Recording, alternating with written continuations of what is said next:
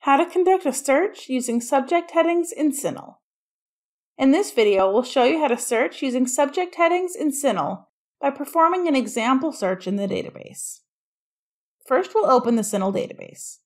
This is what you'll see when you open CINAHL, except it will have your library information. To get started, click Advanced Search. Make sure Suggest Subject Terms is checked. Type in your search term, which in this case is privacy, and click Search. Look for a relevant subject heading in the list. In this case, we see Privacy Use, Privacy and Confidentiality. This tells us that privacy and confidentiality is the closest match to privacy. So let's click Privacy and Confidentiality. Here we see the tree view. In this case, there are three trees, which means this subject heading is categorized in three different places. You can see broader and narrower terms and select one of them if they would be more appropriate to your search. Click the icon under the Scope column and read the Scope note to verify the meaning of the subject heading. Click the checkbox next to the subheading you choose.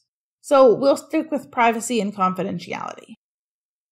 To the right of the Scope column, you'll see a list of subheadings. If you see one or more that are particularly relevant to your search, you can click them.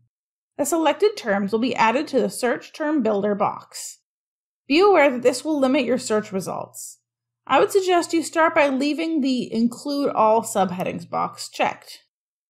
Below the Search Database button, you have two options that you can select.